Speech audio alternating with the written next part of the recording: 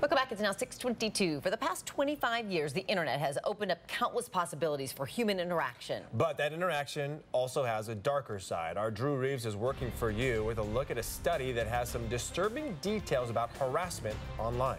Remember that old saying, if you can't say anything nice, don't say anything at all? Well, this new survey from Pew Research shows that advice is not applying to the internet. This newly released research appears to be the most detailed looking at how people treat each other on the web. In short, the picture says most of us have seen what, what happens when words turn hurtful online. The Pew study covers more than 2,800 web users, and 40% of them said they had personally experienced online harassment. The harassment breaks down into two categories. The first, things like calling, name calling and embarrassment. Pew says about one in four people surveyed said they've been called offensive names, and that it's so common that people who experience this often ignore it. Then there's more serious harassment. Those include things like stalking, physical threats, and sexual harassment. The Pew study says women experience this kind of harassment more often than men.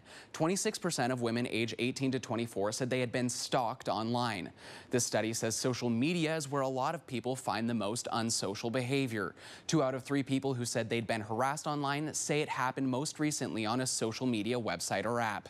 And half of the people surveyed said they didn't know their attacker. Anonymity anonymity, is partly what makes this happen online.